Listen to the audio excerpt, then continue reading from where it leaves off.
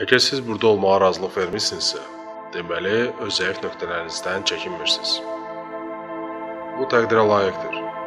Sizin özünüzdən belə gizlətməyə çalışdığınız məqamları biz artıq aydınlaşdırmışıq. Siz dəyişikliklərdən çəkinirsiniz. Məhz bu səbəbdən mən sizi bura topladım. Bu sonuncu testimizin adı isə Anonim Xoşbəxtlər Klubudur. İndiyənə qədər bildiyiniz hər şeyi unudun. Təkcə sözdə deyil, bütün hər şeyi yaddan çıxarın. Düşünün ki, ölümdən sonra həyat yoxdur. Ölüm sizin tək material dünya ilə yox, həm də mənəvi sonsuzluğunuzdur. Düşünün ki, öldünüz və hər şey bitdi. Qaranlıq, heç nə yoxdur. Heç siz də yoxsunuz. Gördüyünüz hər bir şey, toxunduğunuz, hiss etdiyiniz, sevdikləriniz, düşüncələriniz, hər bir şey sadəcə bu reallıqda mövcuddur. Bunu qəbul edəndən sonra təsəvvür edin ki, sizin yalnız bir həftə ömrünüz qalır. Son həftənizdə nə edərdiniz? Mənim elə də şikayətim yoxdur. Ailəm məni uşaqlıqdan istədiyimlə təmin eləyiblər. Mən özəl məktəbdə təhsil almışam, ondan sonra universitetdə xaricdə təhsil almışam.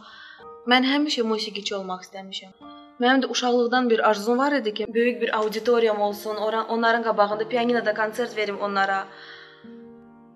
Ancaq mənim valideynlərim bilirsiniz necədir? Onlar mənə imkan vermirdilər ki, e, mən istədiyimi eləyim. Axırıncı həftəmi mən ə, e, öz sevimli musiqilərimi çalardım, öz ə, e, dostlarım üçün, yaxınlarım üçün onları bir yerə yığıb, onlar üçün bunlar hamısını göstərərdim.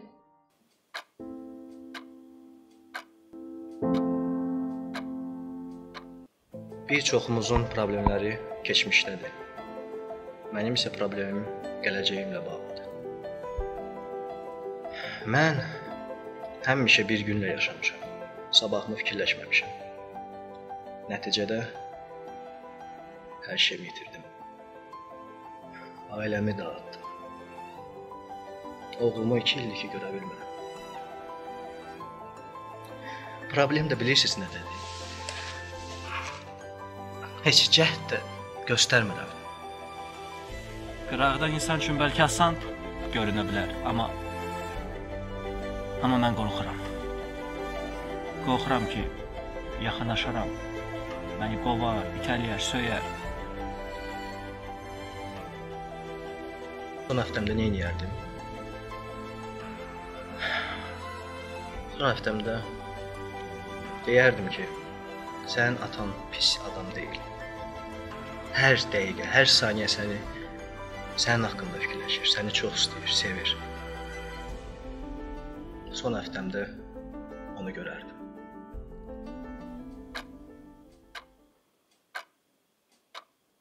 Bir həftə. Sizcə də bir həftə az deyil. Sağollaşmaq istədiyim o qədər insanlar var, yaxınlarım, dostlarım, tanışlarım və bir də o. Bu barədə çox ətraflı danışmaq istəmirəm, çünki xətrinə dəymişəm. Bilirsiniz, bəzən belə olur, küsürsüz, barışırsınız, təzədən küsürsüz. Amma hiss edirsən ki, bu son deyil. Sən yenə barışacaqsan. Bizdə indi elədir. Bu sualı ilk eşitdiyimdə o yadıma düşdü.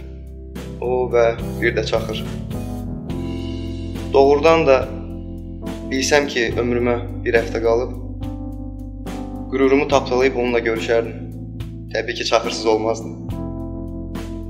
Və hətta ailəmi, dostlarımı, tanışlarımı yığıb toy da edərdim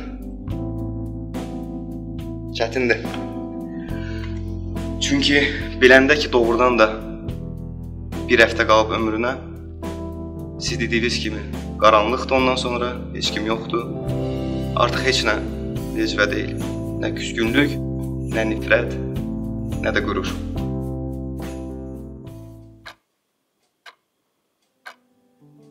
Bir həftə mənə bəsdir əslində. Bir həftə ömrüm qaldığını fikirləşəndə həyatımdakı ən böyük səhvi düzəldə biləcəyimi düşünürəm. Mənim hekayəm çox klassikdir. Mən sərt ailədə tərbiyə almışam. Onlar məni həmişə sıxıblar. O həddə çatmışdı ki, valideynlərimsiz sadə bir qərarı belə verə bilmirdim. Amma təhsil aldığım müddətdə yoldaşımla tanış oldum. Atam oğlanın qızdan yaşca balaca olmasını qəbul etməyərək məni ona vermədi. Çox davalar oldu. Çox qışqırıqlar eşitdim. Yadıma salmaq istəmirəm. O həddə çatdırdılar ki, mən qaçdım. İndi özüm də anayam. Əgər bir həftə ömrüm qalsaydı, anamın ayaqları altında ondan çox üzr, üzr istəyərdim.